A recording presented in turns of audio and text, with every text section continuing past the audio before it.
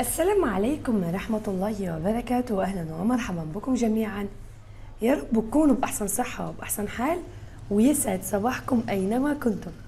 النهاردة إن شاء الله جاية لكم بفوائد وأضرار البردقوش. إزاي إن أنت بتقدري تاخدي من العشبة الجميلة دي؟ فوائد كتيرة جدا وإزاي تخلي بالك من أضرارها. ده عشبة البردقوش. بتكون جاية مجففة أو جافة كده. طريقة تحضيرها هنحضرها أكيد سوا ولكن لو أول مرة بتزوروا القناة فأطلب منكم وليس أمرا. قوموا بالضغط والاشتراك وتفعيل علامة الجرس ليصلكم كل جديد. like و share الفيديو إذا عجبك. البردقوش من الأعشاب العطرية اللي بتتميز بخصائص علاجية كتيرة جدا لأنها طبعا بتحتوي على عناصر غذائية تمثل أهمية كبيرة لصحة الإنسان. بس كل شيء زي ما ليه فوائد ليه أضرار. أول فايدة معانا النهاردة هي إنها بتقينا من السرطان لأنها بتحتوي على مضادات للأكسدة بتكافح الشوادر الحارة أو الجذور الحارة بجسم الإنسان وبتقلل من خطر الإصابة بالأورام السرطانية.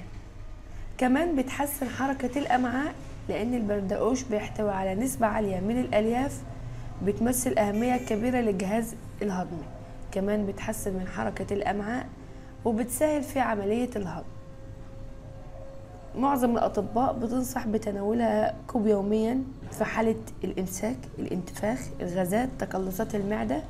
بعد مرور ثلاث أسابيع من تناولها طبعا بتلاحظي إن المريض ما عادش عنده إمساك خاصة الإمساك المزمن. بالنسبة للنساء كويسة جدا جدا للنساء اللي هي عندها مشكلة في الحيض الشهري. هتعمل على تنظيمه وبتخفف من الاضطرابات المصاحبة ليه. زي التقلبات المزاجية التقلبات الهرمونية ألم المعدة إلى آخره. كمان البردقوش بينظم الدورة الدموية لأنه بيظبط ضغط الدم وبيقينا من أمراض القلب والأوعية لاحتوائه على نسبة كبيرة من عنصر البوتاسيوم والمغنيسيوم.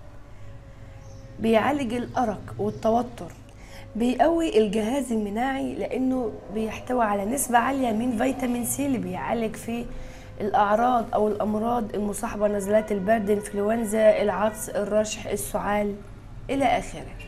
مفيد جدا لصحة العين لأنه بيحتوي على فيتامين A اللي هو مهم جدا جدا للعين. إيه هي مخاطر البردقوش مخاطر البردقوش إن أنت اولا تشربيه الناس اللي عندها سيولة في الدم ما تشربوش. الناس اللي هي في فترة الحمل ما تشربوش. الناس اللي هي هتعمل عملية أو بالفعل عاملة عملية كمان ما تشربوش. لو بتاخدي أدوية معينة وحابة إن أنت تطبقي البردقوش لازم تراجعي طبيبك الأول. دي كل فوائده وكل أضراره. آه طريقة تحضيره إن أنت بتجيبي معلقة صغيرة منه على كاسة وبتضيفي إليها الميه المغلية. تقلبيها كويس وبتغطيها وبتشربي منقوعها بعد عشر دقايق.